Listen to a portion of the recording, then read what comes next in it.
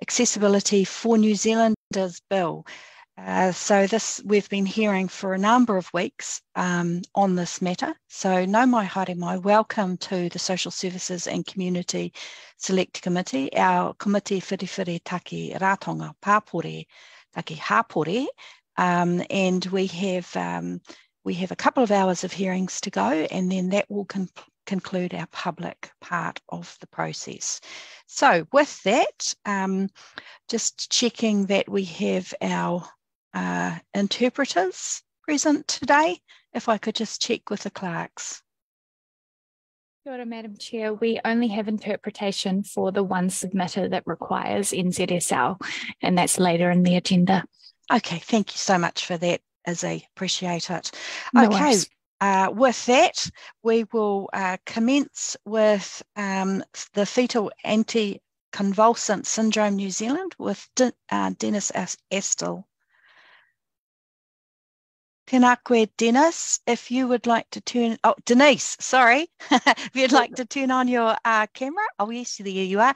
And, um, and you're off mic. Right. Hey, thank you for coming um, and chatting with us today and talking about um, your submission. Please take it as being read. Um, we're, we're here with you for 15 minutes. Um, do you require a, a descriptor of those of us in the room? No, I don't. Great. Okay. Sorry, Denise. I'm getting your name wrong. Dennis, Denise. Always do that. That's right. I'm um, used to it. I'm sure you are. It's it's one of those funny um, things that catch in my brain. I think. So anyway, um, uh, na mihi nui kia, ko, uh, kia koe, welcome, and uh, we are in your hands for 15 minutes. If you'd like to leave some time for questions, please do so. But this is your opportunity to talk with us. Thank Great. you. Thank you very much. Tēnā koutou. Thank you for the opportunity to speak to you today as the representative of Fetal Anticonvulsant Syndrome New Zealand, FACSNZ. It's always a mouthful, so I'm shortening it down to FACSNZ for the Accessibility Bill. My name is Denise Astill, and I am the Executive Officer of FACSNZ. FACSNZ does support an accessibility bill, but just not as currently stands.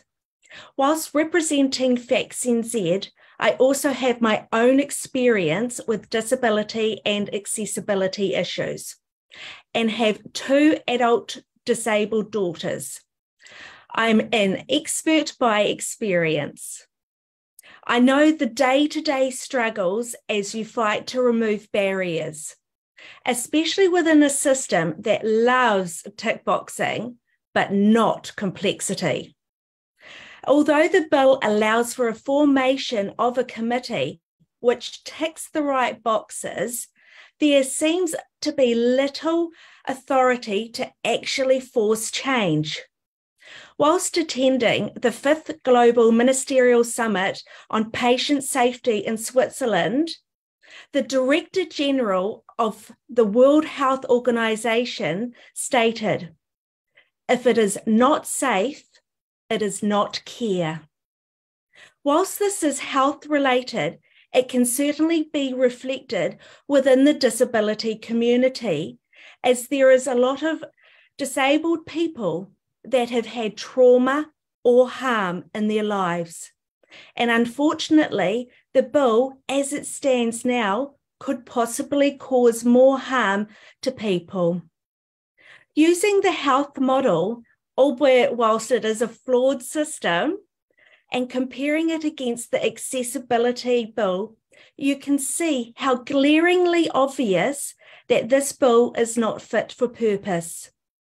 Using the areas addressed in our written submission, here is a very non detailed comparison to what is currently in the health system and what is proposed in the bill. Accessibility standards. For health, there is the Health and Disability Code of Consumer Rights, noting that there is not accessibility standards in this code. Accessibility Bill has no standards. Regulator. Health has a regulator which is currently MedSafe and in the process of being reviewed and updated through the Therapeutic Products Bill. Accessibility Bill has no regulator. Barrier notification system. Health has places that you can report adverse events to medicines and devices. Accessibility Bill has no notification system. Disputes resolu- resolution process. In health, currently, you can have this under the individual health entities or take it to the Health and Disability Commission. And hopefully, in the near future, the option will be available for a restorative process. No central dispute resolution system is available through the health system, though. The accessibility bill has no disputes resolution system. FACS acknowledge that whilst this bill comes from the best of intentions, unfortunately, as it stands, it is not fit for purpose. Yet an accessibility bill is desperately needed.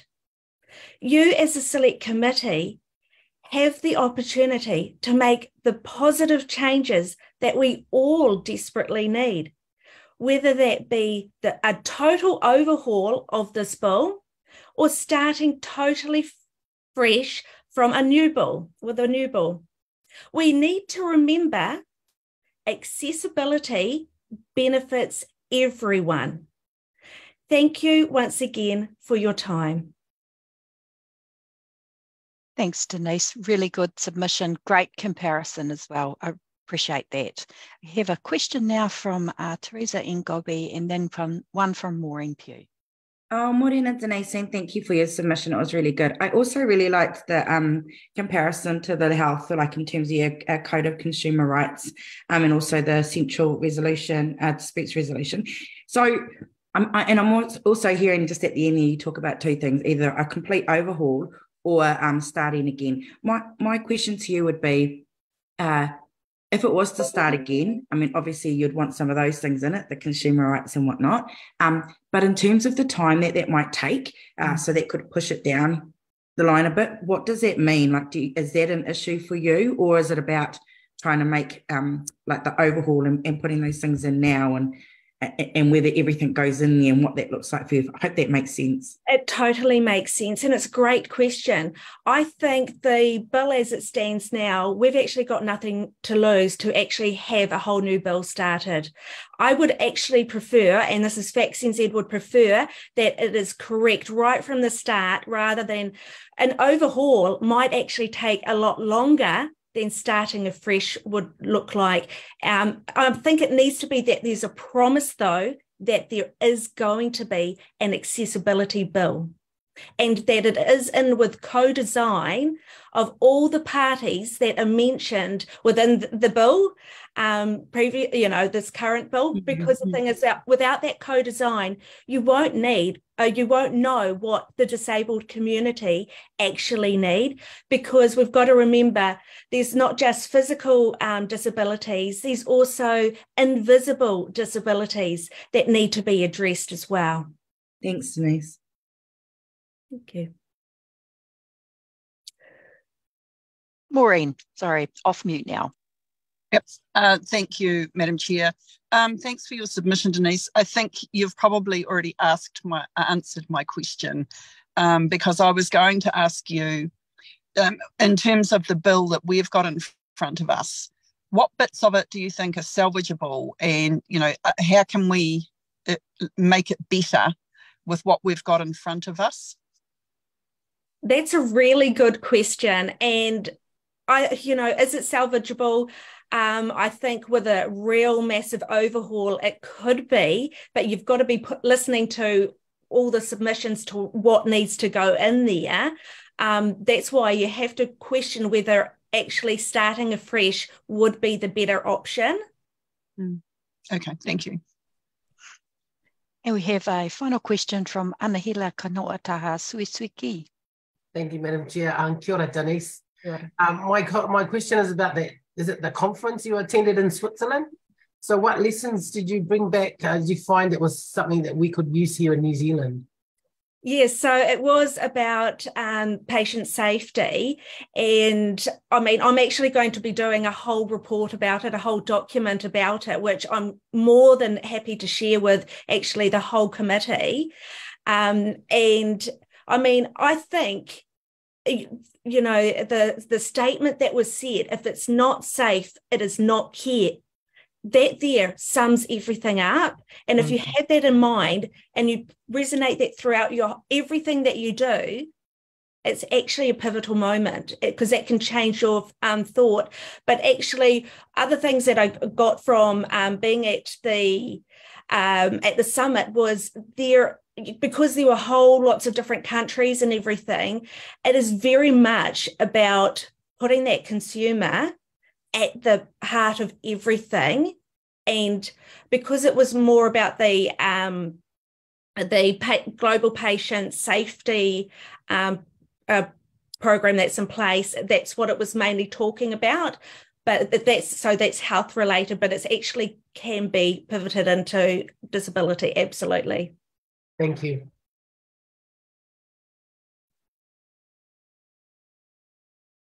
Sorry, I disappeared on the screen. Um, so, Denise, it appears that we've come to the end of our questions. Um, how, how far off would that report be?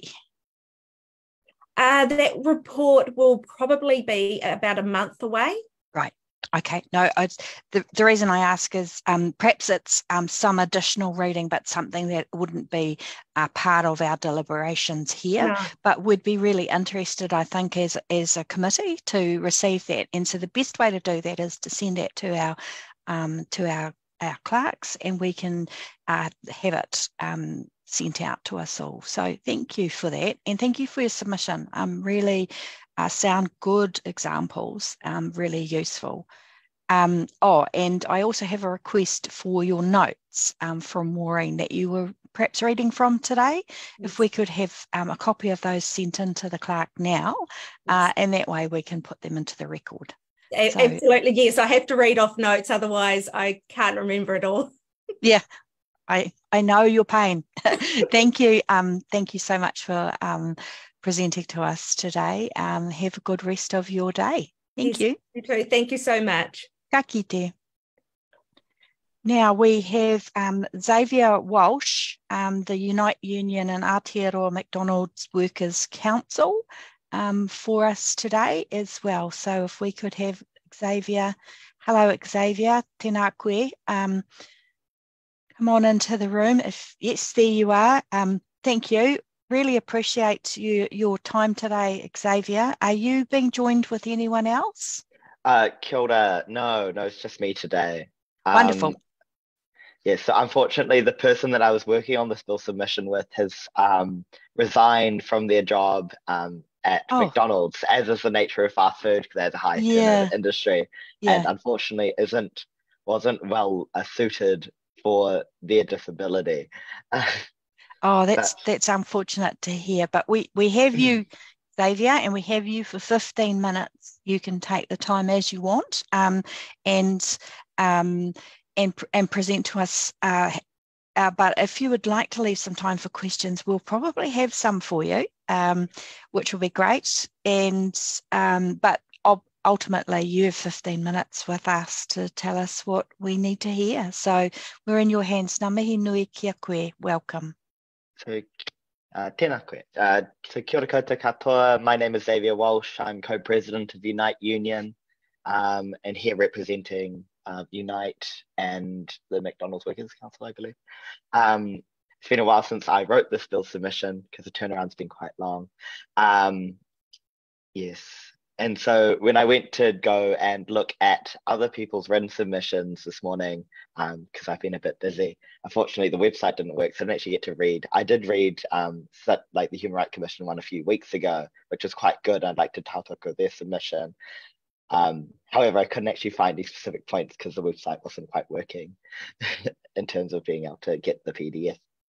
But um, I suppose the points that Unite wanted to make were that, you know, we sort of stand with um, with the community and, and demanding more for this bill. Um, we've heard it, um, we heard it in the last submission, for example, I'm sure you've been hearing it for the entire submission process, that this bill just in its current form isn't fit for purpose. Um, and that it fails to meet the needs that people actually want to see. Well, there are some good points, um, you know, that the, the, intention of the bill is there. I think that it's really important that we recognize that we do actually need to ensure that um, people with disabilities in our communities, our lives, need to feel as though they can engage fully and actively um, in society without any barriers whatsoever. That's a really important point.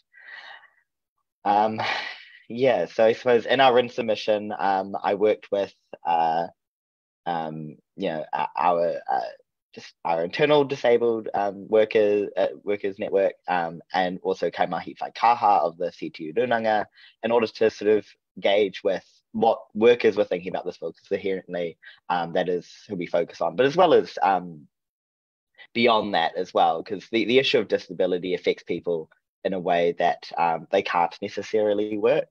And so it's important that we recognize that um, we need to ensure that that uh, that this bill does uh, allow people to um, lower barriers, but also beyond that, um, but beyond that, I suppose um, that if people can't work for whatever reason, that that they need to feel supported. Did you have a question, Liz?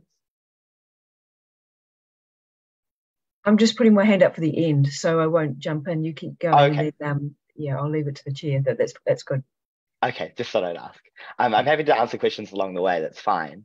Um, yes. So um, I suppose, uh, generally speaking, um, the issue of disability is quite pervasive in our society, and um, it limits access to um, so much for so many different people in so many different ways. Um, we came up with a few sort of solutions as, as um, and sort of agreeing again, continuing some of those um, some of that corridor with with those um, and at Whaikahi, uh, Whaikaha Kaimahi. Um, no, Kaimahi Whakaha, um, the CTU group, um, uh, the CTU sector group. Um, and again, I'd like to about what they were saying in terms of they would like a regulator in this space because I think it's really important to actually like create some meaningful change. As well as um, they talked about the Minimum Wage Exemption Act, which I think we can all agree is something that's actually quite egregious. The fact that those who um, are disabled and unable to work can be paid less than minimum wage because we know that the minimum wage in fact, um, isn't isn't even enough in its current state to sort of live off of. So how can we expect others to sort of live off less than the minimum wage? It's entirely wrong, and it's an indictment in our society um, that we can allow people who do earn less than the minimum wage um, to do so you know, I'm a big fan of the living wage. I think that no one should earn less than that. I sit on the, the governance board for the living wage movement. And I believe it's really vital that we ensure that all people, regardless of who they are and their ability within our society, that if they are workers and they are working for a wage, they should at least be getting the living wage or the minimum wage pay. Um, we can't allow this to continue any further. Um, yes. Um, yeah, sorry, I have been quite busy, so um, it is sort of. I did make some points within the submission itself, but I suppose I am sort of ready for questions because um, it's been a bit of a hectic few weeks. Hey, thanks, Xavier. Um, I think um, one of the things about the, the this process is that yeah people have put their submissions in quite some time ago and um, and refreshing and going back to them is always a, a, bit of a shock but i think your points have been well made anyway um, and i think as well that i mean the reality is that uh, Unite Union um, is saying very similar things to um, our other unions as well. Um, in regards to this piece of legislation. So we'll we'll we'll move now to Liz with a question. Thanks. Oh, thanks, Xavier, and um, thanks for some really excellent comments in the submissions. Um, one of the things you put in your written submission was talking about the committee needing to be a larger size and then saying it should have clear feeders. And I think you were talking there about um, ensuring that you get representation of people from the community on the committee. Can you just talk a little bit more about what um, you would like to see in terms of describing the types of skills and experience that you'd like to see on that committee. And if you've got any thoughts on how um, those people might be become, you know, be representative of those actually out in the community. Right. I suppose this is a question for the community at large. And I suppose the, the issue with disability is that it's so um, it's so wide in terms of what uh, it can cover because there's it, it's an entire spectrum um, and you know it's um, i suppose it's really important that if the committee is larger you can actually cover more more sectors like uh, and so lots of people have very different experiences to disability you know um, uh, like a wheelchair user in different communities as well. Um, so like our Pacifica and, and Maori um, um, disabled peoples may not ha- experience the same, um, ex- may not have the same experiences to disability in their communities and in society than others. And so mm-hmm. it's really important that we recognize that people have different experiences and that, you know, I think the important bit is is that this committee needs to be well funded and that people need to feel as though um, there are less barriers to that. So I, I know that um, there was some talk about um, in the bill going back um, about ensuring that people um, are funded appropriately so they can get to these meetings. But it's it's more than that. They need to feel as though they can have ownership in the space because a lot of people will still have to go uh, a lot out of their way, even though they have um, really good experiences and, and knowledge that will be able to guide this process. So I think it's mm. important that we continue to reduce barriers wherever possible and also get a plethora of views. Not so much that it becomes a sea and it's impossible to do anything, but more so that you that you can ensure that there are lots of different viewpoints. Mm. Cool. And then just further to that, um, in terms of barriers within the workplace, how would you see um, sort of people with experience with addressing those barriers included in the committee? Would it be more just people having lived experience, or are you thinking of anything else to make sure that expertise is around the table.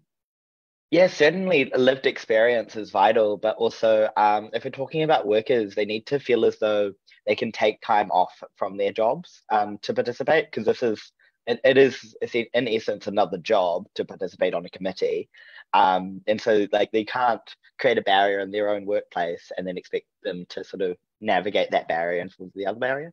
So you do need a, a plethora of views. And so I think mm. um, again that's another issue for um, like the committee process itself to sort of engage with. But you know, we need to understand that the committee needs to be quite holistic in its approach and understandings of this issue as a whole. Right. Thanks, that's useful.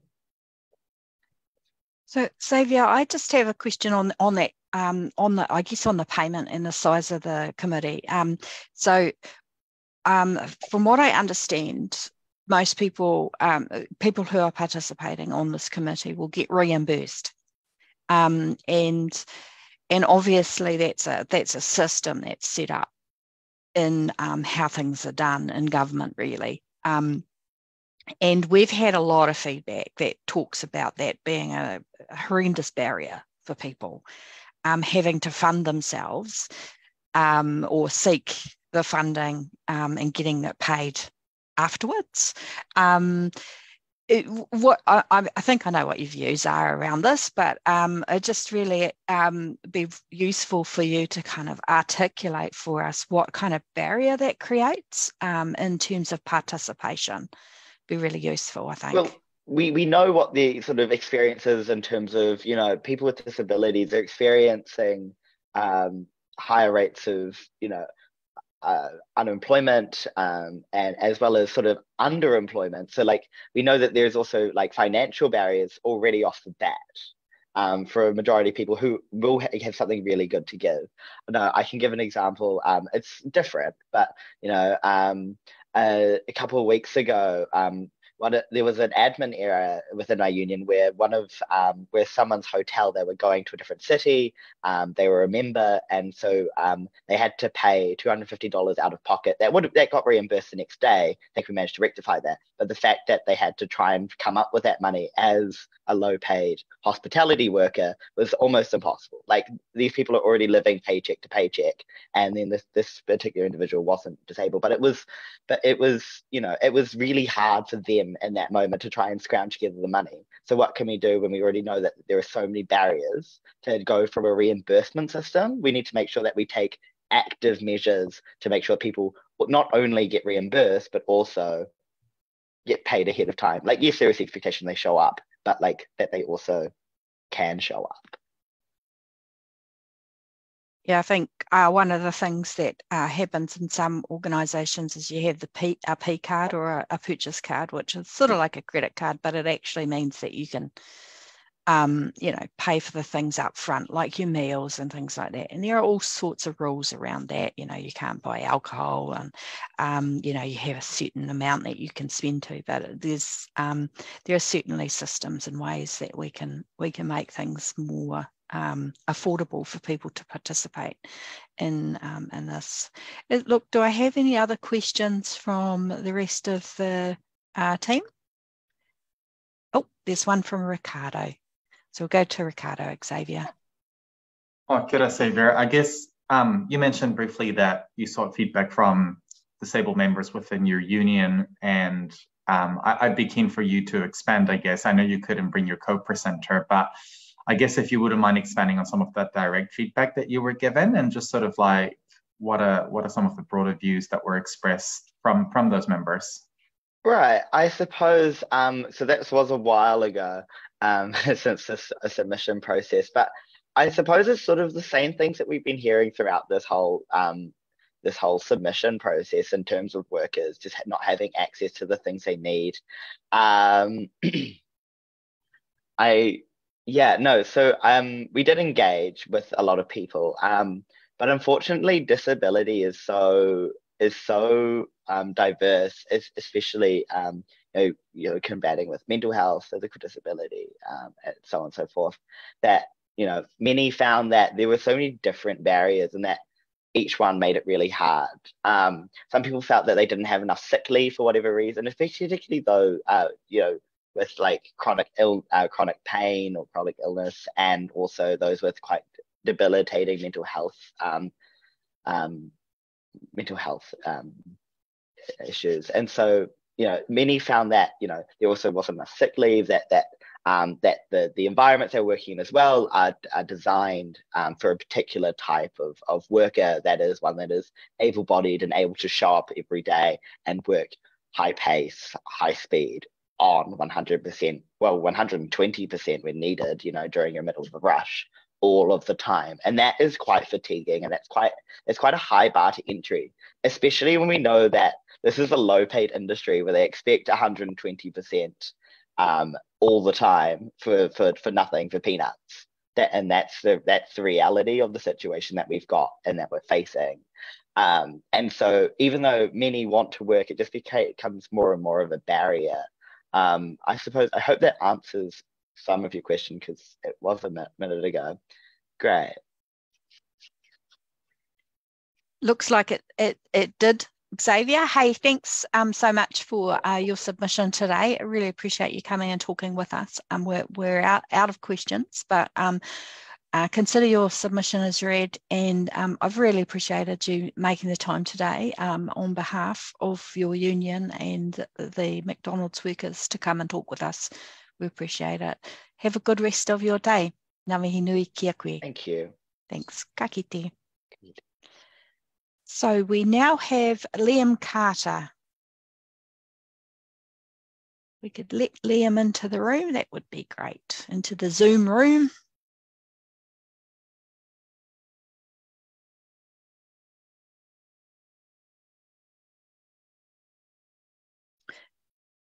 Tēnā koe Liam, I see that you are uh, joining us and Hi. your camera's on. Hi. Um, hey, thanks so much for joining us. We've got 10 minutes with you. This is completely your time, Liam.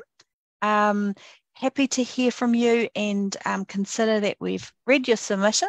Um, and uh, so, whatever you want to say to us in regards to the sledge, we're in your hands. Welcome. just right, remind me what I've written? That was a while back.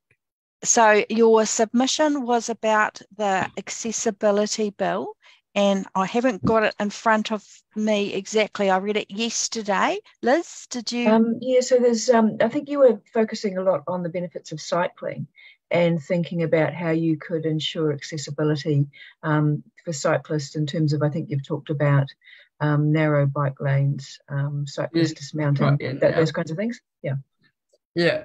So my name is Liam. I run a group called Radio Track, um, and we focus on the accessibility in New Zealand, making sure the footpaths uh, get clear and the bike lanes get clear. And we do a lot of advocating. I live in Hamilton, so I advocate for Hamilton Council um, central government and other councils that I need to do project with um, if need be.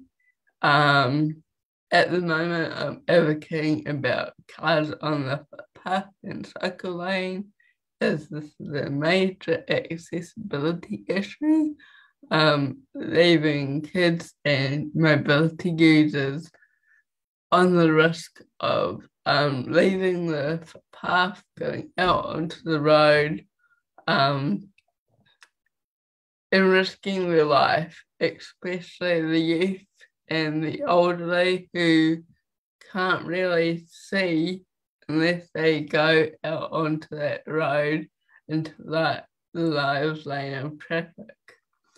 Now, this becomes an accessibility issue. Um, of course, when you're stepping yourself or your family member um, out into traffic and then you're navigating your way around that vehicle. Um, the other issue I have is people parking in bike lanes, obviously leaving the cyclist or mobility user to swing into traffic.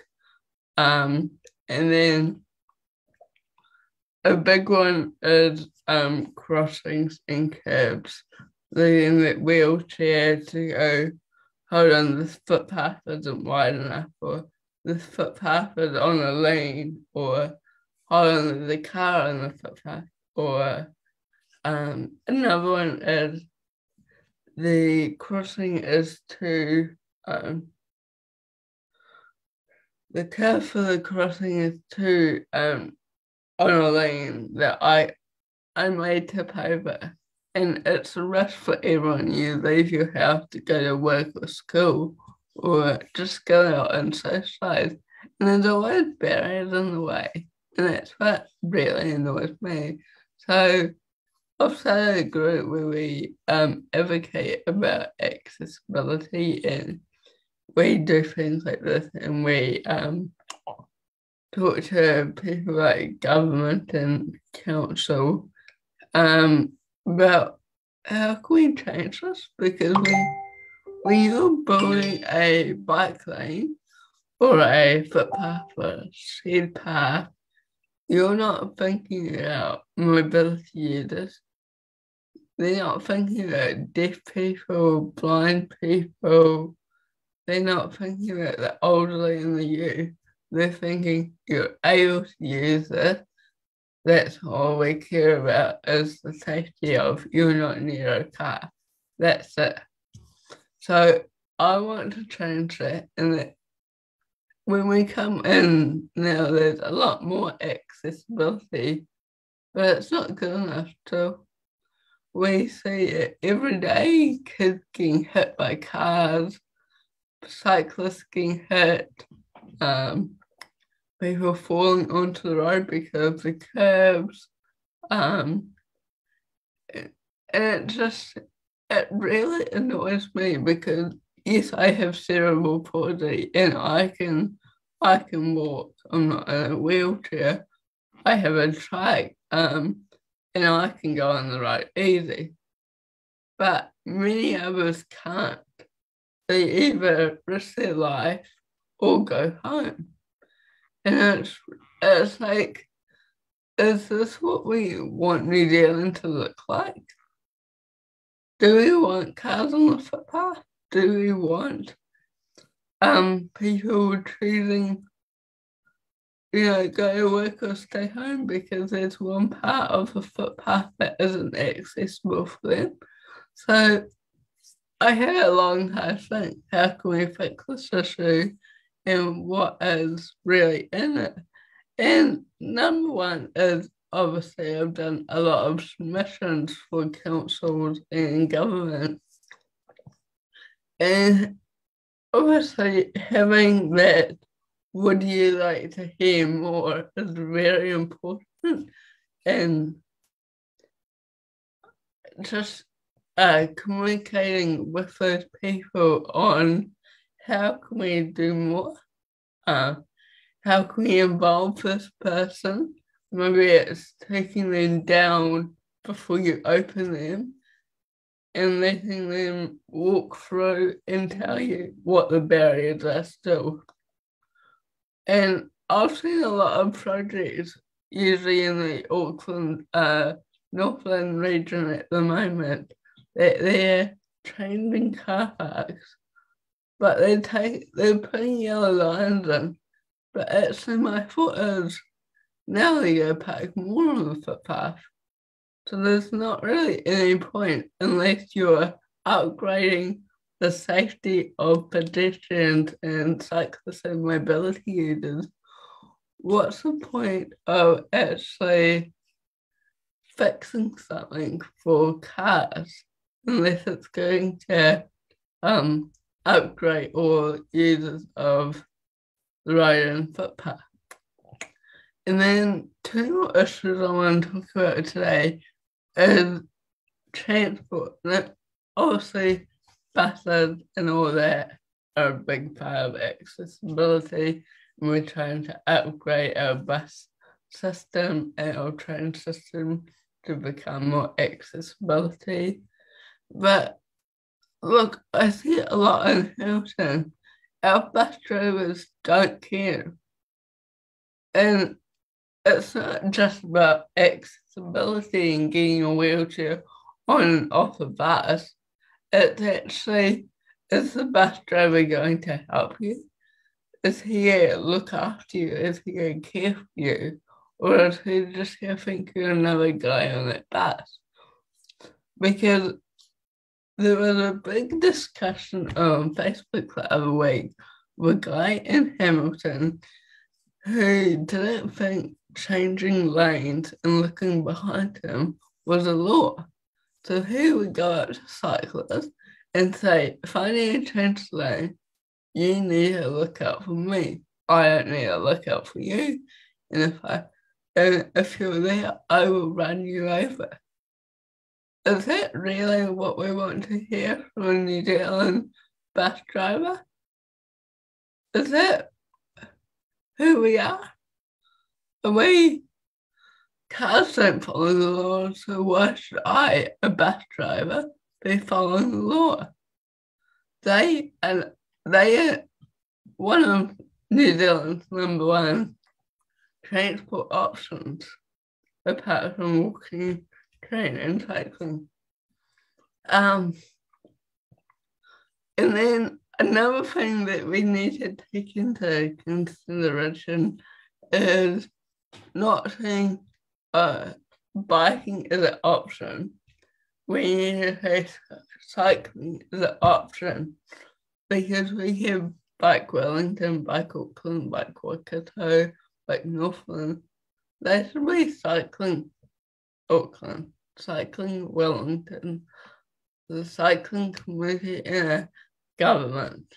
They shouldn't be bike because bike is two, meaning you're not with trikes, you're not with other adaptive cycle cycleware, even though they do do that. But that really concerns me is we know accessibility is more and more important, but it needs to be, it needs to be into consideration more and more because if yeah, that's all I'm gonna say because I'm just I'm happy all the projects are coming out, but mobility needs to be taken in as number one.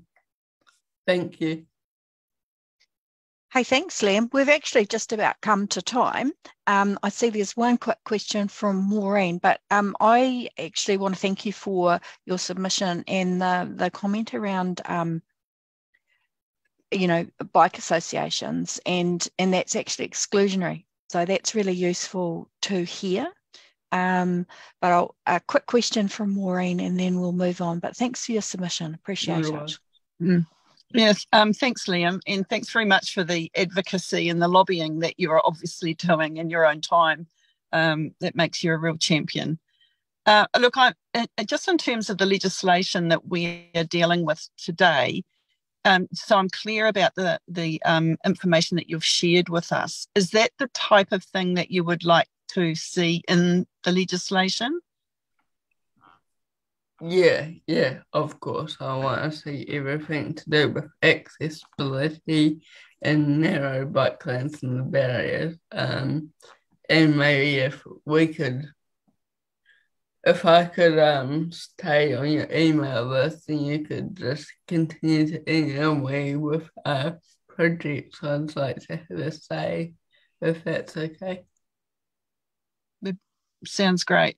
Thank you. I just needed to be clear that you they, they were the suggestions you had for the bill. Yeah. yeah. Okay.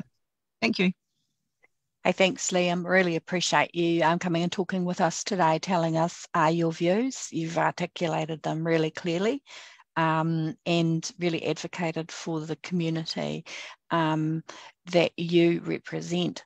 I have to say, um, it's helped me think a little bit more about our cycleways, but also, you know, our footpaths. Absolutely. I know um, getting around our footpaths um, is a huge issue for many people, but um, adding the additional cycleway issue and um, mobility vehicles or um, is is a huge addition into that. And I really, really like the suggestion of before these things are open, that um, representatives from the community get an opportunity to go through and I guess audit and say, hey, this isn't going to work for us and this is why. So I appreciate that. It's really useful and sound suggestion. Thanks, Liam. Hopefully, we'll hear from you at another time on another submission.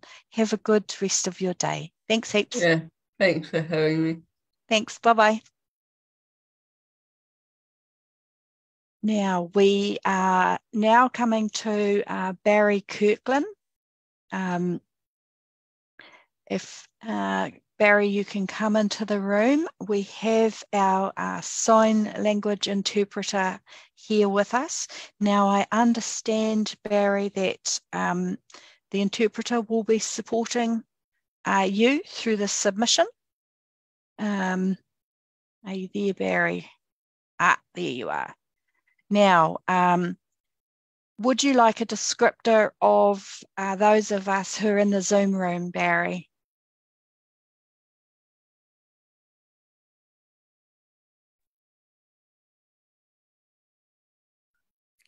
Um, hi. hi, Barry. Um, Uh, can you see me okay? Yes. I'm just going to double, the interpreter is just going to double check that um, I'm clear. So can you see me? Can you see me clear? Cool. Yes. Thank you. All organised then. Okay, so um, um, so things like this have failed before. Um, so that's why I've got um, this at the moment. Um, so I'm happy that it's all working now. It, um, Okay. So we are in your hands, uh, Barry. Would you like a description of who's in the Zoom room for you? Yes, please. Great. Okay, so I'm Angie Warren Clark. I'm the chair. I'm based in the Bay of Plenty and I am a blonde woman with glasses. And today I am wearing checks brown and black checks. Um, we'll go to uh, Maureen. Thank you, Madam Chair. Hi, Barry.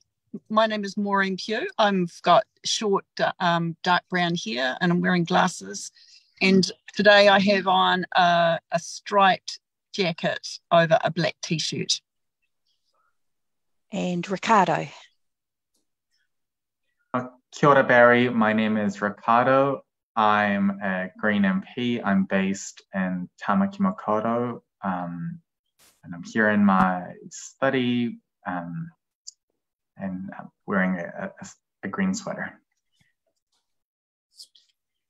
Liz. Kia ora, I'm Liz Craig. I'm a Labour list MP based down in Invercargill um, and got blonde hair. And Anahila. Uh, kia ora, Barry. Anahila. I'm um, Labour list MP based in Papakura and I'm wearing pink today, glasses and black hair. And Ibrahim. Uh, kia ora, Barry. My name is Ibrahim. I'm a list MP based in Wellington. Um, I'm wearing today um, a blue and a yellowish shirt. Good to have you here. And finally, Terisa. Oh, kia ora, Barry. Um, my name is Terisa. I'm the Labour um, uh, MP for the Otaki electorate. Uh, I have brown skin, brown hair, and I've got a black top on today. Right. Um, so back to me, Barry, um, Angie. So just we're absolutely um, available now to hear um, from you in regards to your submission. I understand our interpreter is going to uh, interpret into English or uh, language for us so that um, we can communicate uh, appropriately. So we look forward to hearing what you have to say. Thank you.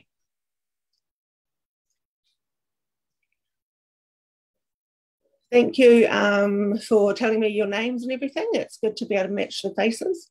Um, so, is every, can you guys see me okay? You're coming. Yeah, absolutely, Barry. It's wonderful. We've got the technology working. Yeah, yeah, yay! That's fantastic. Okay, okay. Um, so now. Um, my submission is um, with my perspective. Um, I don't actually think that um, the current, oh, yep, I currently rate the bill of, um, as it says here, two out of 10. Um, I'm not overly fond of it. Um, and we need to um, improve the bill, obviously, from a nine out of 10 to a nine or a 10 out of 10, um, because then um, access is more, accessibility becomes more access granted rather than just, um, you know, trying it out kind of thing. The only thing that's going to cut the mustard is access, um, fully, access, full access granted, sorry.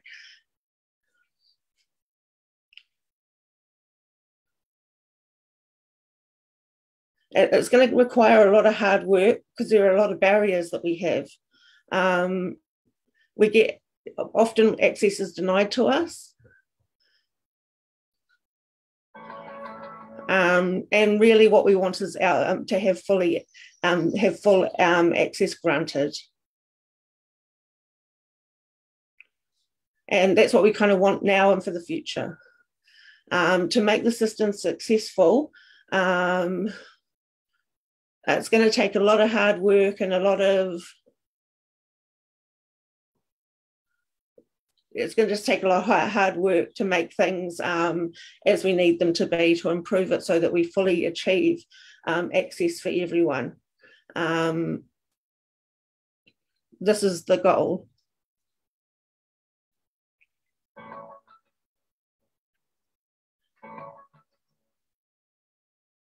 So um, my submission is kind of on behalf of deaf people um, and talking about employment for deaf people. Um, so the current system for um, employing deaf people um, for workers is actually not deaf friendly and it can be extremely unsuccessful. Um, and so we need to open the door so that deaf can have good careers and have great career roles in the future. At the moment, there are a lot of barriers, a lot of closed doors. Um, and deaf people have so many barriers. You know, if they find a job, um, they often put minimum wage. Um, if and okay, sorry, I can't see that. I'm gonna have to lean forward. Um, okay, so um, to unlock the system um, you know, this is kind of the key of what we need to do to make things better. Um, we need to um, educate um, employers. We need to um, improve hiring processes. We need to match the right jobs with the right people. And deaf workers um, need to be upskilled and they do have skills that are in demand.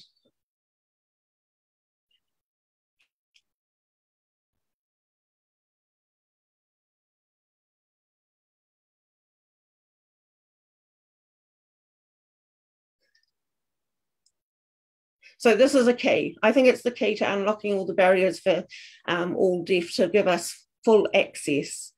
Um, and I think it'll work better for everyone, not just for deaf.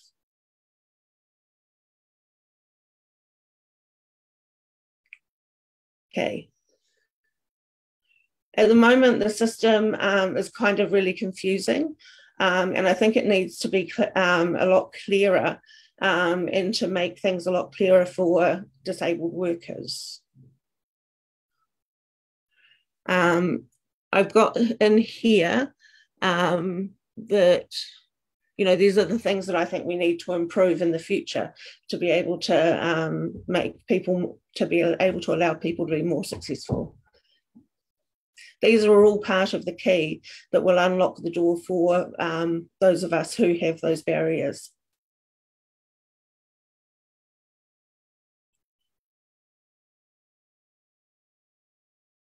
So I um, I'm, oh, I'm finished now. Thank you very much. Um, oh, just one more little thing actually. Um, before um, there's a working policy of some sort. Um, oh, yeah, to do with policy. Okay, I think it needs to be improved on a policy level. Um, I think at the moment the policy um, for the Act is actually rather weak, and I think that um, it needs to be fixed up and improved, and to make it clear um, and to make the policy more effective. That will open all the doors and, and remove all the barriers.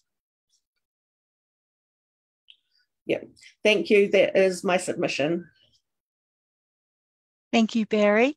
Um, I have a question and then Anahila has one. In your submission, you wrote about the um, New Zealand Sign Language Act needing to be superseded by this. What is it that's not working in the New Zealand Sign Language Act for you?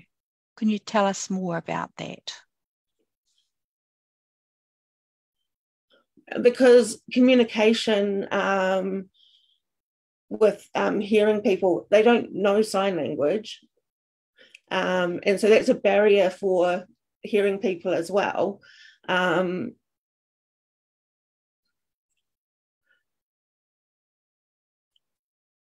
and so the Sign Language Act, um, it does give some access, um, but really it's not clear about all, um, all the access that's needed.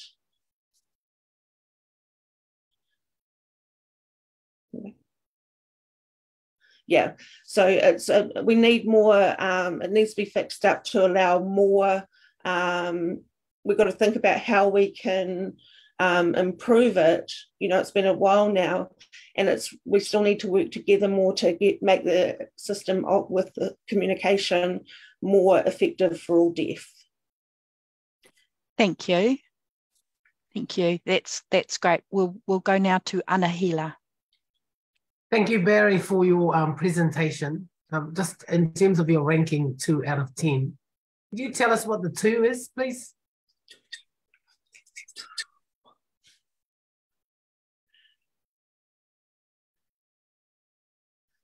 I think that um, we can.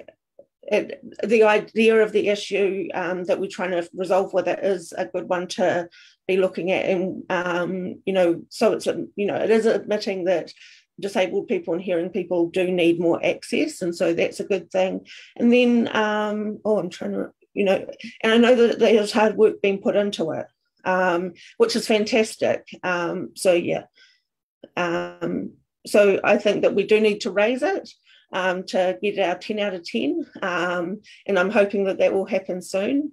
Uh, so, yeah, and I think the system can improve with a law like this. Thank you. Thank you, Barry. We've come uh, to the end of our time now. Um, a really good submission, thank you, um, and very useful in terms of uh, your visual aids for us as well. I took a photo, so it might end up on my Facebook shortly as well.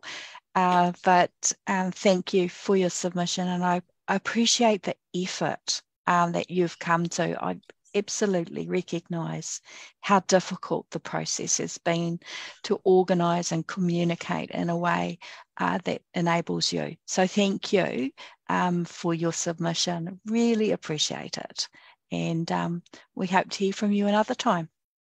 Thank you. And um, thank you all um, for your time and the hard work that you're putting in. Um, and and I know that you are working hard to, um, and I know that in the future things will get better for us. So thank you. Thank you. Bye, Barry. Um, so we've got now a, a 10 minute 10 minute break. Thank you for our uh, interpretation. Um, we now have a 10 minute break. If we can um, perhaps come back at about um, uh, 10.04 so that we're ready to go by 10.05. So we're, um, the meeting is now suspended for 10 minutes. Thank you.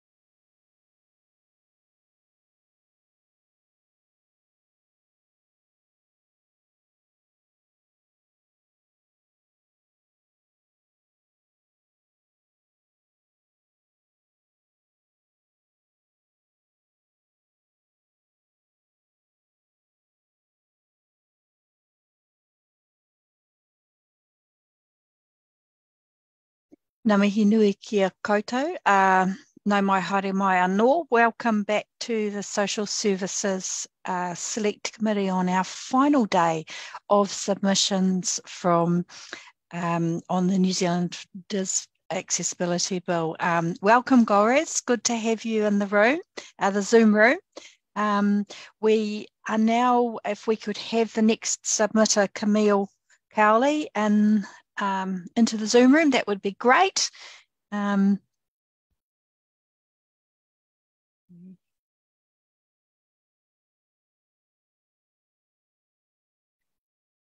Camille, um,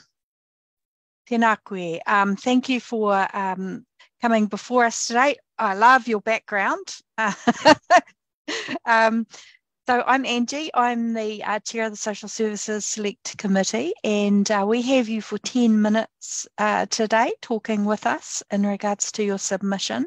Um, please take it as read, and um, if you'd like to uh, leave some time for questions, we'd appreciate it as well. But this is absolutely your time to tell us um, your views about the accessibility bill. Thank you and welcome. Thank you. Um, I am tall, long, uncut, dark blonde hair, uh, dark bruises under the eyes and pain, a malar butterfly rash across cheeks, wearing a shirt with recursive grey leaf pattern, a bone brooch of a Māui dolphin, one jade coral necklace, and one Celtic necklace. And thank you for the time to speak. I was not aware it could be oral through Zoom, so I appreciate this. I have difficulty with writing, so writing was limited. I have been a mechanical engineer working on the manufacture of mobility equipment for disabled people. I have been involved in reviewing civil engineering contracts, a sustainability engineer with manufacturing and waste reduction, a software engineer with experience in web and tech accessibility with global standards used. I have done housing architecture design reviews for accessibility. I have been a professional support worker for elder care and in my private capacity, a primary carer for my partner who is physically disabled and during many years had a severe brain injury, so needed advocacy, help, and support. I have neurodevelopmental, sensory, and physical disabilities since birth, and I have physical, further physical disabilities due to illness which have progressively gotten worse. In my technical career, no company, government department, or business ever used or followed accessibility standards already known to exist. For example, more than 98% of websites in New Zealand are inaccessible, more than 90% of government websites. Yet the standards are easy to implement and test. Like with architecture, designers don't want them, don't use them, and have no mandate to. And there's no real enforcement response, even when made aware of the inaccessibility. In architecture, this is deadly, and we have to accept that we will likely die in cases of fire or denial of safety due to lack of access. Even ACC often refuses injury cover for people with disabilities, and we are more prone to injuries due to the lack of accessibility in public built environments. Often private insurance companies will deny cover outright, even for things like aircraft or other disasters, because apparently my partner's muscular dystrophy would be responsible for a plane or building collapsing. As a severely disabled person, the government still denies food prep support, so under nursing care, you have no cooked food funded. They would have random people of either genders turn up at random times with no notice or identification to immediately shower and start touching your body. These people would have no training in disability conditions or even knowledge of the necessary care risks. Except worse and often frequently, the care would be cancelled or not have staff available without any notice. So no one would show up at all, and you are left without, even though you still would be charged for the time. As a disabled woman, I am forced into a relationship to have somewhere to live, I have no income support and no rights to income support, even though at the moment I cannot get paid employment. So I have no income to pay for my own doctor's bills, transport, or specialist appointments needed. So I've had to forgo many of these. I've even had to try minor home surgery for many issues. This is a common experience and puts many disabled people at severe risk of abuse, which increases the harm and negative health effects. Referrals that are urgent have been denied to me due to my disability, and there have been severe failings in the health system towards me, from my birth injuries to recent denial of care and equity according to HDC patient rights. There is no real effective avenue for justice or mediation available. I've tried it, it's not accessible. The lack of healthcare has been deadly for many family and friends. I have been denied public housing support and public housing waitlist access while myself and my disabled partner were homeless for years. There's no real response when less than 2% of housing is accessible, and even of the few in the country available, landlords do discriminate against us without any accessible way to remedy this. I spent time sleeping in a car, sleeping in conditions that would flood regularly, and spent time couch surfing. I was even forcibly separated from my partner for over a year as we could not find space to couch surf in the same city. My details from government agencies would be sent to completely different addresses, not related to or approved by me, to a different city because they did not view me as an individual with my own address. We have been turned away from restaurants based on how we walk or look. We have been denied access to public council events and parks because my partner needed to use a chair. We have had mobility parking removed in public parks and spaces like council, museums, memorials, and have been denied access to those culturally important spaces. Even places of national importance like Te Papa or the Beehive are not truly accessible. During education in both school and tertiary, I've been denied disability supports necessary. One early school tried to ban my access to the library as they believed without evidence that I could not read and it would be a waste of their time. I have been assaulted by teachers, and I've even had teachers advocate anti vaccination views and promote conspiracy theories that the vaccination would lead to cancer. There have been no accessible ways to adequately mediate to get access to education materials either. Often these would still be denied even after requests through the Student Services Advocate. Also, there was no means to report unethical behaviour or even request ethical response from teaching organisations, even when teaching in the fields of health and disability support. I've had constructive dismissal from the denial of accessibility in workspaces, and my partner had his access to workplaces removed through the installation of cycle lane barriers blocking and removing access to city streets and businesses. Often these cycle barriers have caused severe injuries and high risk. With parking removed and even general parking, we've had access removed to workplaces, medical practices, education, businesses, and housing. Frequently, work from home concessions available to other employees are denied to disabled people, and this means as well we have been discounted from employment in the first place. And you may notice common themes that the justice, healthcare, housing, transport, work, income, public spaces, and education have been inaccessible. And each time we are forced to fight for any accessibility to be allowed, it creates a deep trauma and denial of mana. We have no real legal rights or a response, as no government department has part of a controlling legislation a mandate to provide accessibility for disabled people. So every fight is often met with no real illegal avenues to pursue, and no government department having a legal mandate for accessibility, and nothing we could do. There is also a huge problem with infantilization and desexualization of those with a disability. Having a non disabled parent on a committee is dangerous because of this. A lot of non disabled parents, even while well meaning, don't realize they're committing familial abuse when they deny the agency and ability for, of independent choice from their adult or even younger children. They often will use terms and advocate for the continued denial of agency, even though they do not realize the long-standing harm and vulnerability it perpetuates in society, often leading to more financial and physical abuse we know people with severe neurodevelopmental disorders are still able to have agency in their decisions. However, we rely on groundbreaking disabled people like Sir Robert Martin to prove it to others that we are capable and deserve the same rights to agency and our experiences. As an engineer, we have enforcement and standards for environmental effects, and we have fines for failures. But when it comes to the lives of disabled people, you truly can do anything to us, deny us access, and often we don't have access to justice for adequate response.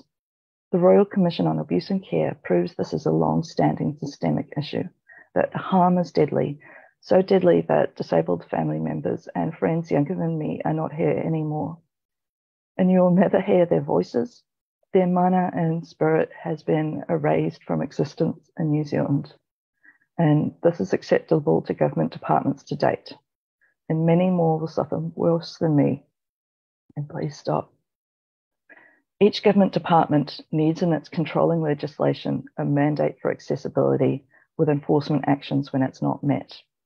But effective overarching accessibility legislation is needed too. Because even though the government signed up to the Conventions on the Rights of Persons with Disabilities and the Paris Agreement to include the UN CRPD as core in climate change goals and policies, literally no government department follows this. In justice, court cases have proven the government and Crown law can ignore it. I don't foresee myself being able to live much longer with current levels of accessibility. I know this and know it will kill more family and friends in whānau before any government changes are realised. Thank you. It was incredibly powerful, Camille. Thank you um, for your submission. Um, we don't have time for questions, but um, will we be able to have a copy of your notes to be put into the record? Um, are you okay right now? Uh, it's always a bit um, funny, but I, I'm yeah, it's not easy when you have to contemplate doing your own home surgery. There's a lot of pain, and uh, it's tricky because you always toss up um, the risk of severe infection. And that's what I have to contemplate at the moment as well. Um, just because I don't have access to my doctor, I don't have access to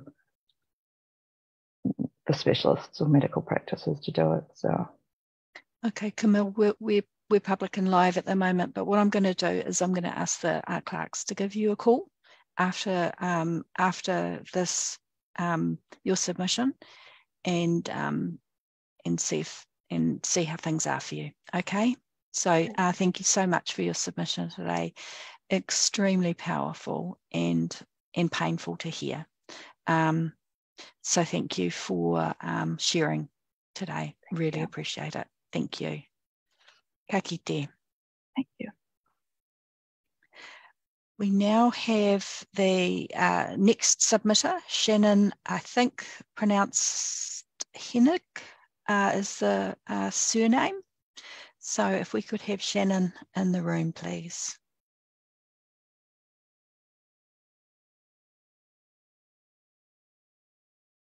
Hello, Shannon. We can see uh, you have joined us. There you are from your car. As always, as always. Um, so, Kira, Mm-hmm. Thank you so much. Um, so we have 10 minutes with you. Please take your submission as being read. Um, if you'd like to leave some time for questions, please do so. Um, thank you. And we're in your hands. Welcome. Um, um, so I want to first just, the stories that we just heard, um, I hear things like that every day in my professional life. Like it's, it's really across the board. Um, so I'm going to start my my submission. Actually, looking at my written submission, I think it's an inadvertent example of the. Let's just say the written submission when I looked at it made no sense, and I don't know what happened. So I think I had been supporting some people to write their submissions, and I think I copied and pasted from the wrong thing. So when I looked at my written submission that was listed on the parliamentary website, it looked like word salad. And I had this huge internal ableism reaction of they're going to think I'm stupid. They're going to think I can't write. They're going to think, and I know that's not true, but I think that's just how linked ableism around communication really is. Um, I've submitted before. I have a doctorate. I can write. I know these things, but we have this myth that intelligence and language are the same thing. And I know that's not true because of my family's migrant history. I know what it's like to live in a country where I don't speak the dominant language. I know what it's like to be called uneducated on a bus because I didn't know the right words to say to navigate those spaces. Um, and I have a lot of evidence that that's not the case, that I am intelligent and I'm articulate. But we live in a society where we really, really privilege language, communication, and literacy. And so you'll be hearing a consensus that this bill is not what we need. What we need is something really enforceable that we can take New Zealand to be fully accessible and in a way that's enforceable and safely um, enforceable because there's still, it's very difficult to put complaints in safely. It's very difficult for people to fight for what they need. Um, and there's a lot of ableism built into many societies. So I'll leave that to other people with lived experience and more policy knowledge than me. I dream of a day that we actually are in line with international conventions we signed up for and that um, we can get on with things and not be fighting for some of the basic accessibility. So today I'm going to focus on what's called communication access. Um, and you will have also gotten a submission from the New Zealand Speech Language Therapy Association, and I was part of that team writing that one. But this is just me as an individual. So communication access impacts every aspect of what we do as a society. So if you think about, say, mental health, you are in a situation where you're not, you might be in a situation where people can't tell whether your language at the moment is a sign that you aren't safe to leave inpatient or is it a sign of a communication disorder? Um, that can get you trapped inpatient for a while if you can't get the right support that has nothing to do with your mental health needs. Or let's say you're so asking for support but you have to do a choice appointment. This is all about asking questions, answering questions, talk therapy. What if language is hard for you? Can you access these needed services? Think about health. Your doctor talks to you. Do you get a double appointment or do you get a single appointment even though you speak slower and you need more time to process? Do you have to double pay for that? Many people do. Think about justice. Justice is a place where it's all about how well you speak from the police interviews to standing up in court, those who can tell their story concisely have an advantage. Those who have a language challenge do not. They are at such risk of saying what they think people want to say because there's that double pressure of saying what you feel socially is required, but that might put you in jeopardy as far as justice. Health, I have had con I have supported people in my life where they're asking, can you please feed me? And they get given food, but they can't raise the food to their mouths and I'd have to go in day after day to feed my friend because their communication system wasn't way of communicating wasn't acknowledged or understood.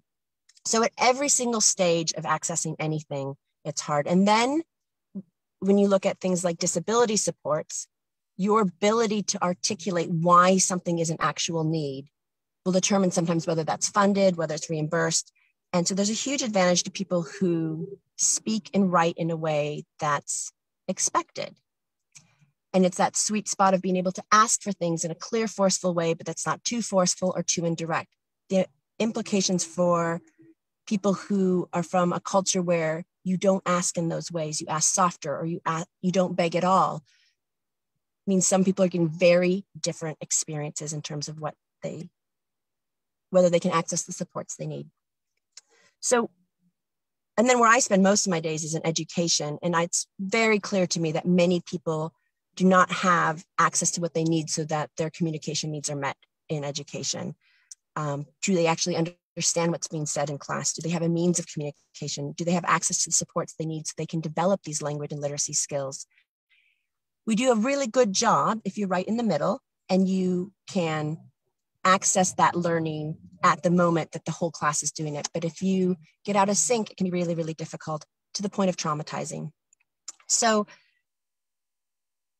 what I'm seeing all the time is complete violations of people's um, ability to access really core parts of our society, parts that they and their family members are paying taxes for, but they don't have access to because of language needs, communication needs. And then there are some people who, who are not going to communicate through language because that's not where their neurological brains allow them to be. And they are equally human and equally valued, but they're not equally valued by society at this point. So I hear heartbreaking and see heartbreaking stories every day. And there's a huge part of it, which is around that communication. So I just think it's also really important when we get to a stage that we have proper legislation that has teeth and is enforceable. It's not just about physical disability, it's not just about sensory disability. People often think of vision and hearing and physical access, which are incredibly essential, absolutely part of the picture. But this invisible thing around um, social communication, language, literacy um, is really, really important. Um, and then I'm just going to add, as you can tell from my accent, I'm from North America. So I actually was about 12, 13 when the American disability, the ADA went into effect in the United States. And I remember these massive debates around every table. Like, this is going to be so expensive. It's going to put small businesses out. Like, it was an uproar at the time. And we moved on and we did it.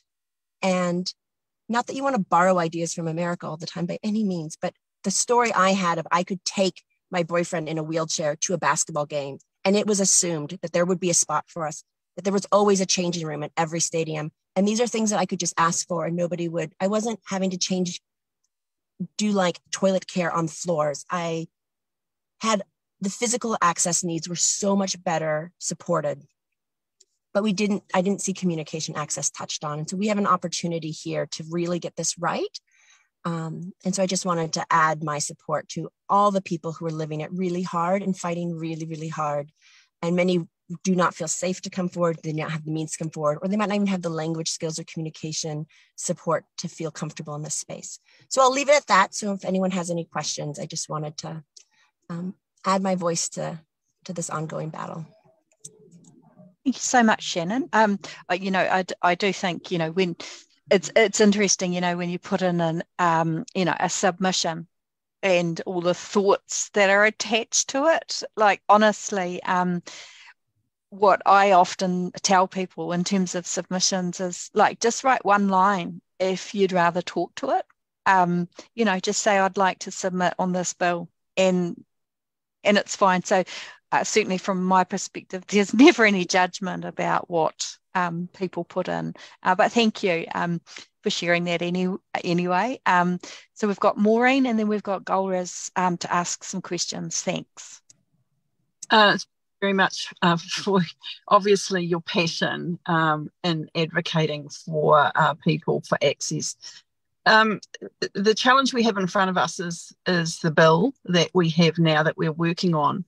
So, in your view, do, it, it, are, are there things that we can add to it without moving outside of the scope of this bill that would um, bring more accessibility into New Zealand? I think I would leave that question to people who have more knowledge around how to write bills. That um, the outcome I'm looking for, that's in line with the things I see, is anything that's done needs to include the communication piece and it needs to be enforceable. And the best, most efficient way forward to get that right, I'll leave that into the hands of people more knowledgeable than me. Understood. Thank you. Thank you. Uh, Golriz. Kia ora. Thank you for raising communication needs. Um, I I um, live with multiple sclerosis, and I was horrified to find when I was choosing my um, treatment that they they couldn't even tell me which one was going to slow the communication degeneration because they only measure mobility.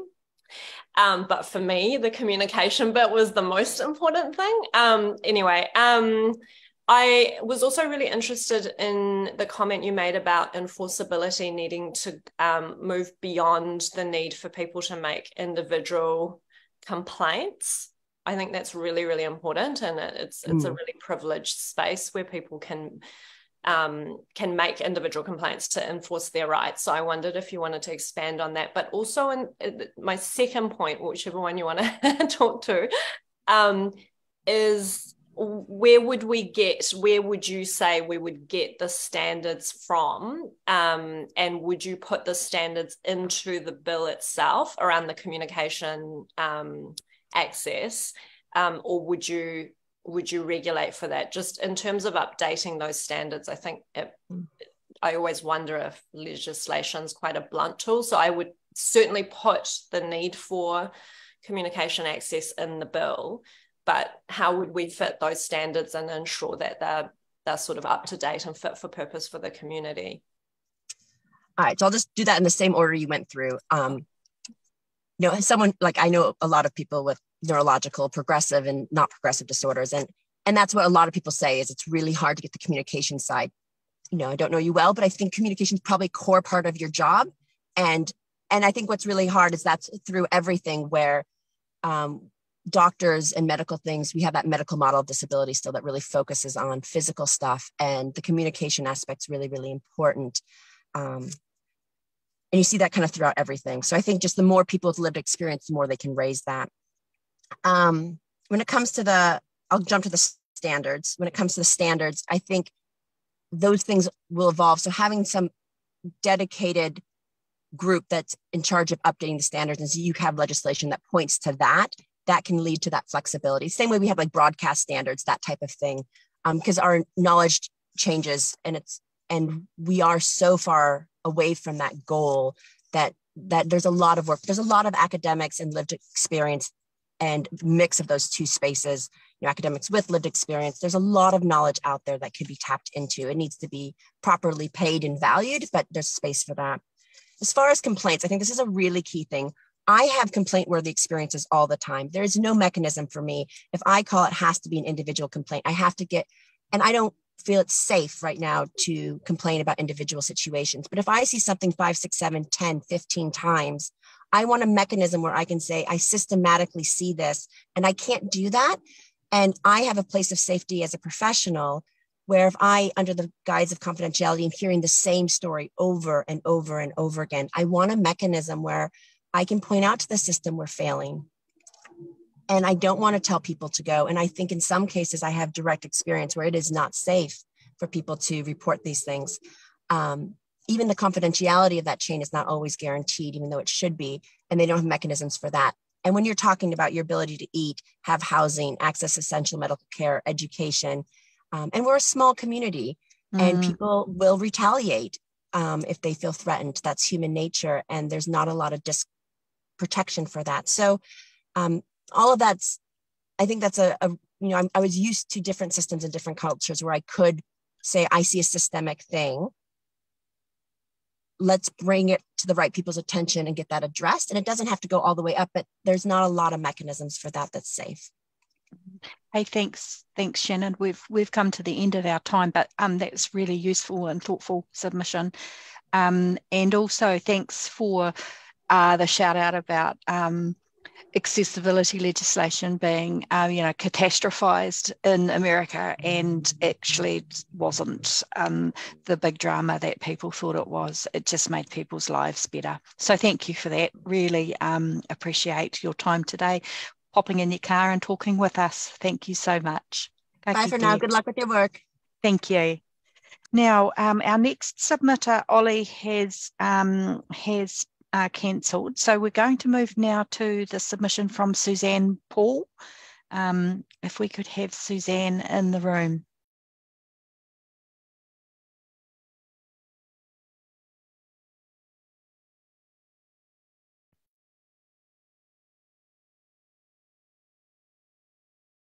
We can, uh, Suzanne, ah, there you are, Suzanne. Thank you. Um, if you can turn on your camera and your sound, that would be great. And um, thanks for being available early as well. Um, good, we can see you there, Suzanne. If you can turn your mute off, that would be great. Um, thanks. Oh, there we go. If you could speak, I'm not sure we can hear you. Yes, I'm here. Oh, yes, wonderful. I- Wonderful, thank you. Look, Suzanne, we have 10 minutes with you. That's um, please take your submission as being read and uh, we're in your hands. If you'd like to leave some time for questions, please do so. Welcome. Um, I'm I'm nearly 80 years old. I am disabled. I live with um, cancer and other health issues, which do not coincide with my disability, but they are affected by my disability. And I'm also a community advocate, and I have been for about 40 years. And I work with lots and lots of people who have disabilities of one sort or another. And for me, and, and uh, talking about accessibility, and it doesn't just mean recognition of disabilities. It doesn't mean who are affected, age, or the cause. A disability is a disability. Accessibility also has to mean provision of services, care, and lifestyle support and quality of life, as well as financial costs. Now, I'm going to mention ACC here because this is that I consider this is important as being over 65. People who have disabilities resulting from injury can be on ACC compensation until they're 65. The minute they turn 65, they, they generally are then required to be on New Zealand Super and that is frequently half the rate of income that they would have been receiving on ACC, and it does not match their actual costs of living, their medical costs, and other uh, outgoings, um, even though a disability allowance is provided and there are other means of getting assistance. frequently over 65s do not have enough funding to actually live and have a quality of life. There are some things that I'm going to mention, and I'm sorry about this, but for example, a person who is over 65 who is disabled and goes into care, they receive a weekly amount of $49.33. And that money has to cover things like all their personal issues, their toiletries. Um, in some cases, it's toilet paper, um, continence pads, all of that. And, and those things really should be provided under the financial program that's set up for people in care. People under 65 who also go into care have the same issues. So it's with one, the care can be provided and covered by ACC, but for the other, it's not. They come under the MSD superannuation costs. Um, um, the, these are things that need to be addressed because the finances for a person with a disability are frequently much higher than those for an able-bodied person. Sorry, I'm I have a little problem talking at times. You're doing fine. So if you Thank need you. a glass of water or something, by all means. No, I just I just had no, it's just that I I get a muscle spasm in my throat. Um, uh, uh, the, the next issue that I want to address is in home care. Now, in home care is provided for people who live at home, and it's also covered under most circumstances by um, the, the government uh, funding program. The problem is that a lot of people who are at home with a disability are quite isolated. Many of them, like myself, have no family frequently the only person that they may see will be their support worker who may come once a week for one or two hours. If a person is restricted to being at home without social contact, then that isolation can affect their mental health, which will then affect their emotional and physical health. We have an issue where people have a, disability, a support animal, an, um, and and those animals are covered um, financially. But if a person is at home alone with nobody, they may have a cat or a dog as a companion animal. That companion animal is not qualified under the same uh, regulations as what an, um, an accessibility dog is. And these are these are also important things because again, a person who lives at home and is isolated with a disability, regardless of what that disability is, can actually be affected health wise. When we can also come down to transport for people with a disability, and I'm going to use my case here. I have an artificial elbow in, in my left arm, and I've been recommended not to use public transport because I cannot put a great deal of weight on it. And if I was to swing on this arm, I could probably damage it permanently.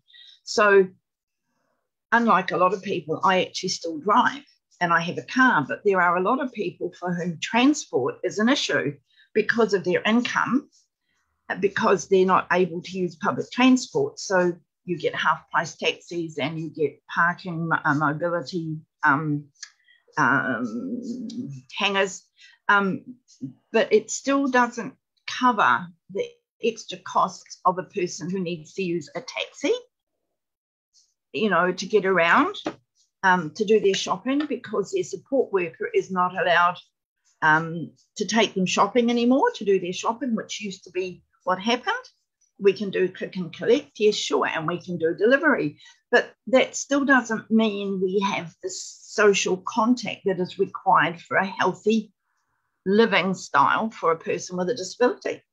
Um, my next question is, you know, where the finance comes from people with a disability get assistance from MSD under a disability allowance, but the disability allowance does not cover everything. It is a, it is a cap.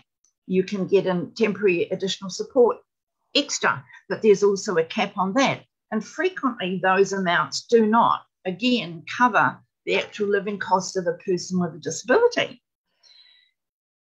My last thought, and this is something I really believe in, is that ACC and the health system actually run together. They cover similar things, but they are not connected and they don't actually handhold very well.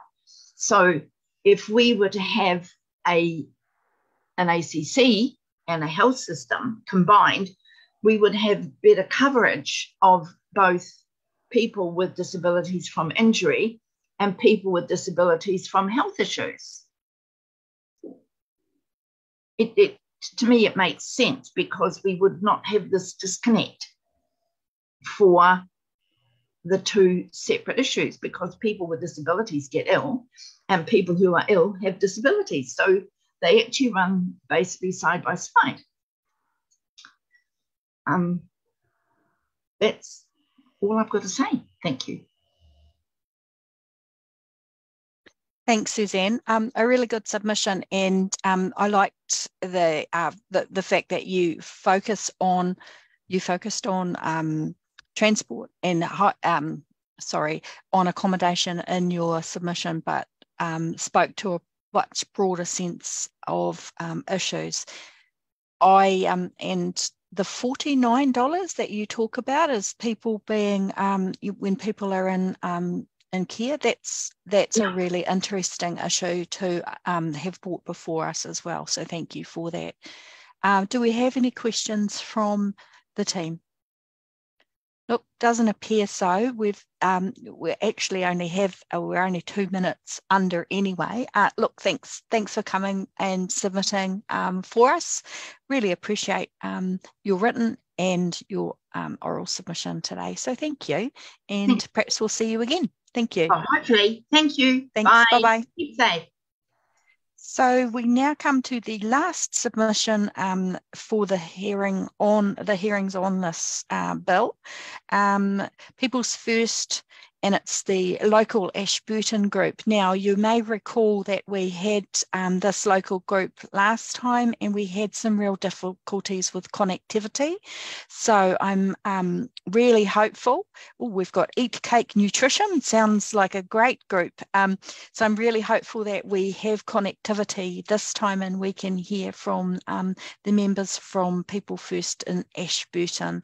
So, oh, damn, eat, eat cake is gone and people first are back. So um, Ngā mihi nui kia korua, welcome to, oh, kia koutou, the three of you. Welcome again. Looks like we have you in the room a lot in a lot more stable network than we had last time.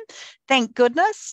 Um, thank you for your submission and for uh, you all coming in to talk to us again. Really appreciate you hanging in there and um, and making the effort this time. You're our last submitters for the whole bill, um, so you get um, you get to uh, have the final final say on this bill. So uh, look forward to hearing what you have to say. Thanks so much. Ngā Mihi Nui Kia Koutou, welcome. We have you for 15 minutes. Thanks.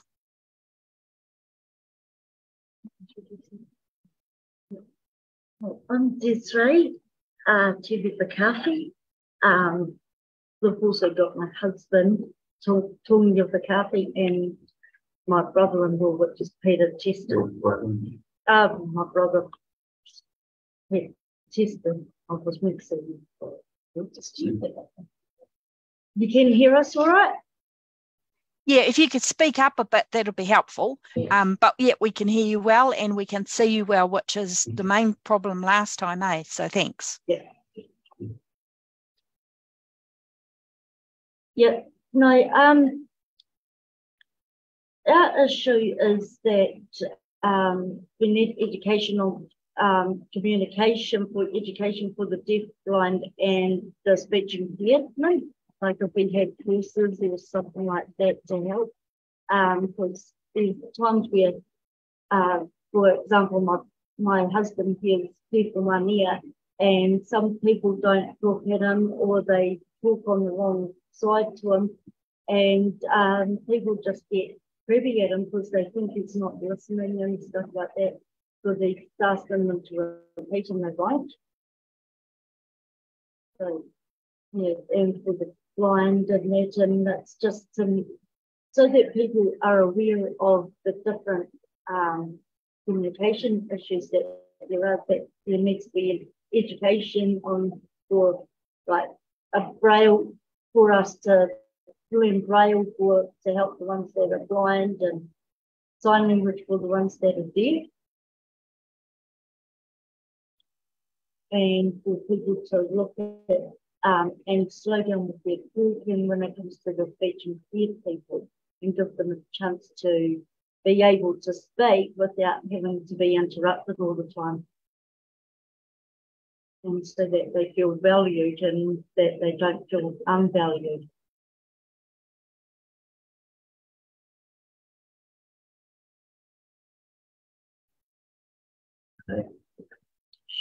The transportation, yes, we have no bus, but we have taxi. Well, with, with myself, uh, I use a what do you call it, a disability card mobility. for a mobility, mobility, a mobility card, which is which is real good for, for myself and and, and my wife.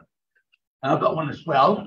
And and so yep, it is reasonable, but we don't know when it's going to go up in price.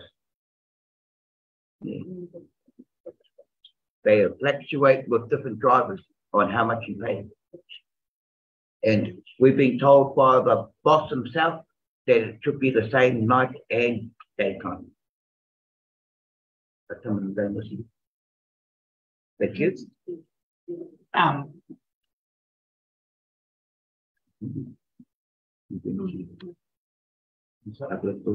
uh, yeah, a lot of public buildings do not have public have access for the for people in wheelchairs and walkers.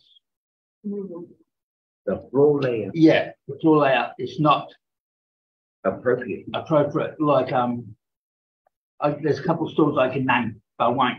But you can't even get into them. What Peter's trying to say is when it comes to the doorway, like when you're going into a shop, they haven't got the aisles or where people in wheelchairs or walkers can get around um, safely without banging into things. Even people that's got a, um, the blind cane can't get around the shops very well. Um, they have it really cluttered up, um, and the entryways are quite narrow. So they need when they do the floor layout or for new buildings and that they need to be aware of people with wheelchairs, even if they have a plan, get someone that's in the wheelchair to do a test to make sure that it is safe for them. Even the ones that have the big bags on the back of the the mobility good. Yeah, and, and that that's another problem where you go and turn and you might smack into a project and then they get angry and tell you have to pay for it. Mm. Got no room to turn around. Mm.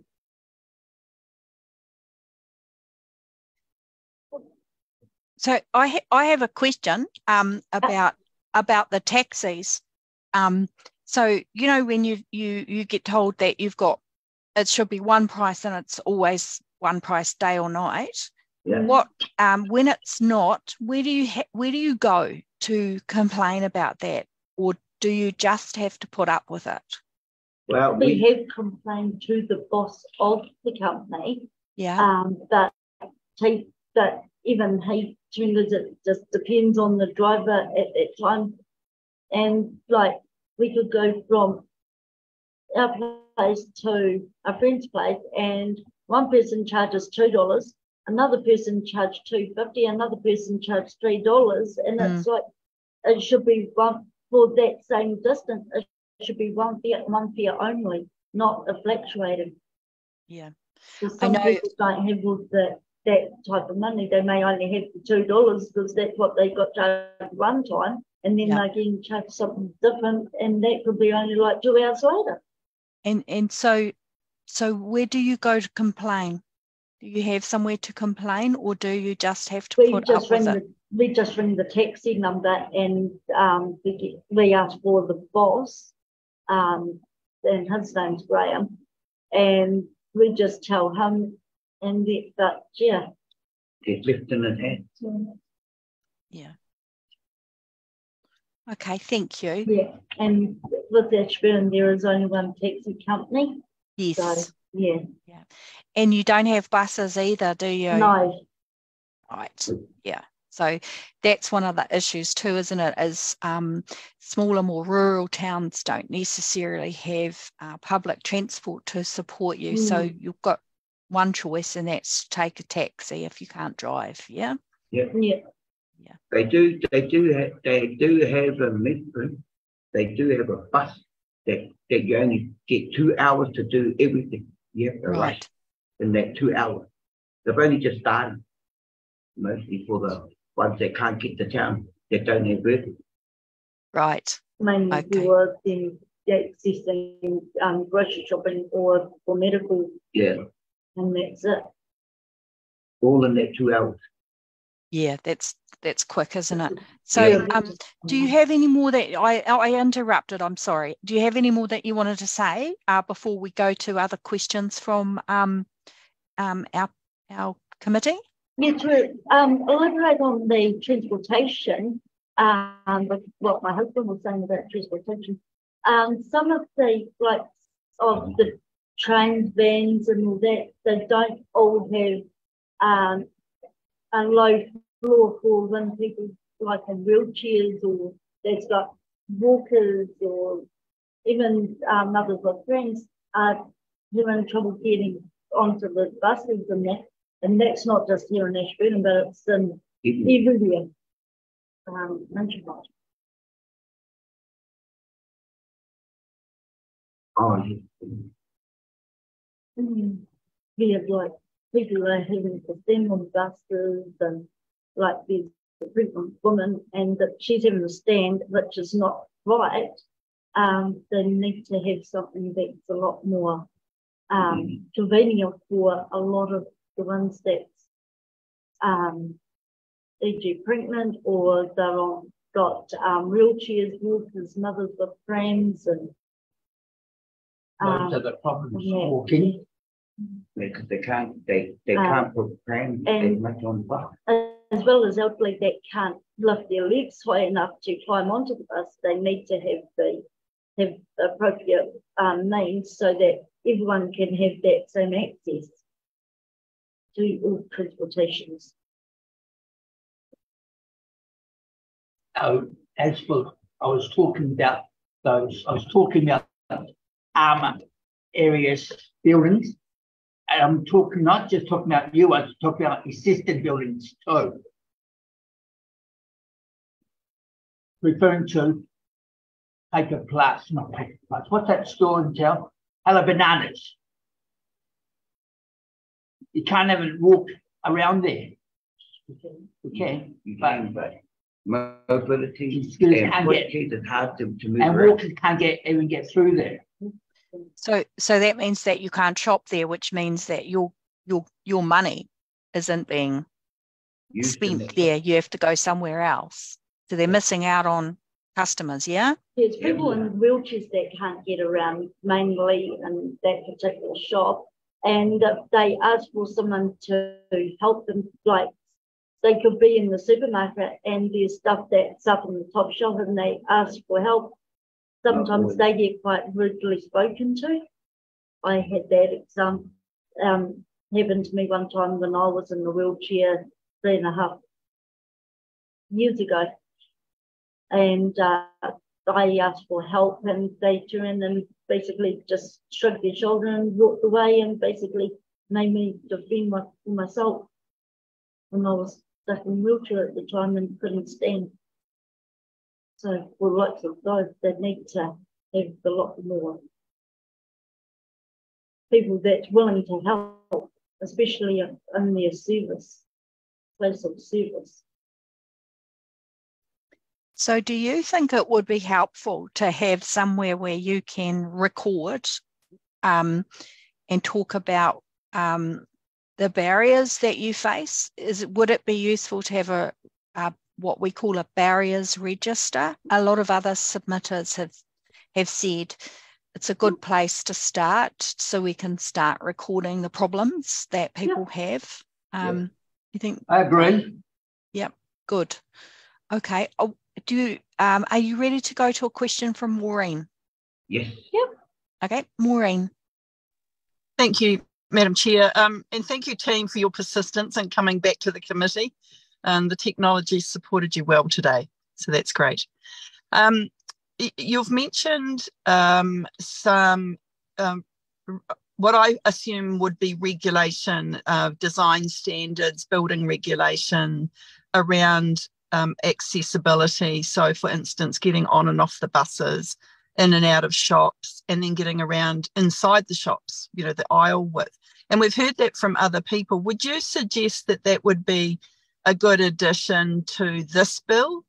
Yeah. Um, yeah. Yep. I do allow for that. So um, I just want to be clear that you're suggesting to us that uh, things like those regulations or design standards are actually uh, considered and how we can uh, make sure that they're enforced going forward. Yeah. Okay. Thank you very much. Good idea. Now, I don't see any further um, questions from um, our committee. So um, I just want to thank you for, um, as Maureen said, hanging in there and coming back in and talking to us because, um, yeah, you really did have a bad connection last time, um, whereas this time it's been awesome. So, hey, thank you so much for Um, um, being I our. add one more thing to it, please? Oh, yeah, sure. Uh, one, when I was working, I like to see more employers trained up to deal deal with people with disability so they can get more help. So when you say um, trained up so they can get more help, do you mean um, employers get more help or so that the employee gets more help? Um, both. Oh, okay. Yeah. And there's more opportunities out there for people. Because I, when I was working, I always got picked on. Yep. I put a stop to it in the end because I was I learned I could talk to management. Yeah. Only good. because I learned that I was safe. Yep. But I still think there should be education there for them. Yeah, I think that's a really good point. Um, universal point, actually, a point that everyone uh, should continue to learn um, in this space because none of us understand everything. We all have our different experiences, and the more we understand, the better it is for everyone, I think. But yeah, your point about employment because we know that there are lots of people um, seeking um, employees out there who are who are struggling to employ people because they can't find people. Um, and you know there are 24% of the um, of our population have a noted disability or dis- describe themselves as having a disability. So that's a big proportion of our employed community So as with well. me, I was made, I was made redundant, and I and I'm stopped looking for a job because I'm not confident in looking for another finding another job of what happened. Yeah. And I think that that's My age that- and my dis, my age and disability to count against me. Yeah. And that's really sad because I'm sure you've got lots to offer. Yeah. Um, and look, we're at we're at end of time now um, in terms of our submissions, but I want to thank you for being our last submitters come um, come today and across all the months that we've been hearing from people. It's it's been awesome to have you. Uh, thanks um, for your time, and I hope you have a good rest of your day. I hope it's nice down in Ashburton, and um, we will um, hopefully hear from you in another submission another time. So thanks so much. Ka kite. Thank you. Bye. Bye bye.